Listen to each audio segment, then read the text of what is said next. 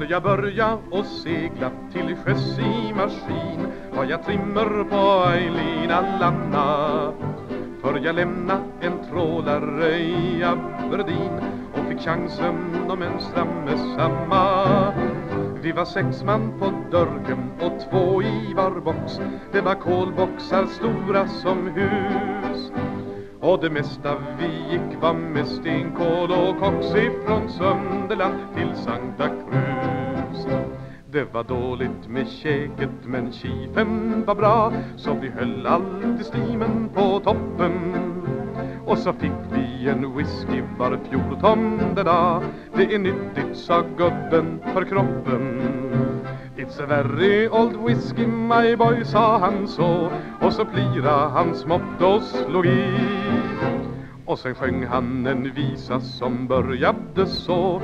I was born by the side of the sea. I Valencia där fick vi tre ton apelsin. Men den lasten fick gå mig förutan. För jag smet med min sjösäck och min mandolin. Jag var trött körd och ogilla' skutan jag var tunn som ett rakblad men riggad och fin Och en flicka som sjöng på en bar. Gödde upp mig med kyckling och tre sorters vin Ja, den flickan var ovanligt rar jag har seglat med britter och jänkis och allt. Ja, med tyskar och med portugiser. Det var hemskt när man gick utan hyra och salt Och fick smörja av Antwerpens poliser. Men det värsta var nog när vi hade gjort rent I ångpannorna ner i Bordeaux. För jag somna i kitteln och hörde för sent att man luckorna skruvade på. Ja, jag vaknade när vattnet blev påsläppt ju si Och kamraterna eldade under. Det var kolmörkt i kitteln och vattnet det steg Så jag flydde ju högst upp inunder Men där var det ju stopp, där var man luckan på Och jag tänkte, nu är det nog klokt.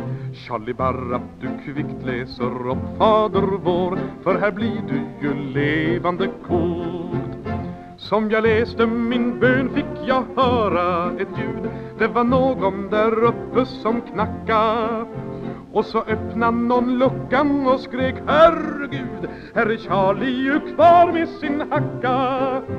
Det var Don Gimman själv, han var skotte ju nå Och se hackan jag hade var hans det var den som han sakna men medge ändå att det samtidigt gav mig en chans.